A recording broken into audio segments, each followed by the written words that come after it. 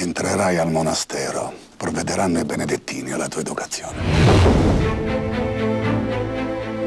Li vedi quelli tutti incappucciati? Non sono monaci, sono donne, le loro amanti. È arrivato l'anticristo! Chiudiamoci nel monastero o ci uccideranno tutti! Siamo liberi! La libertà! È una parola che non significa niente, ma che accontenta tutti. Libertà significa anche che ora che l'Italia è fatta, dobbiamo farci gli affari nostri. Voi siete di destra, il Presidente del Consiglio non è di sinistra?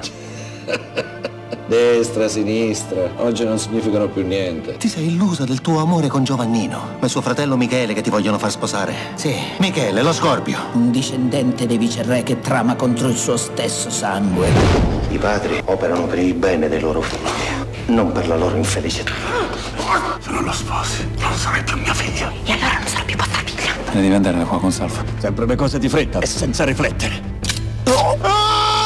Il male nel nostro sangue. Per sconfiggere il male il bene non basta.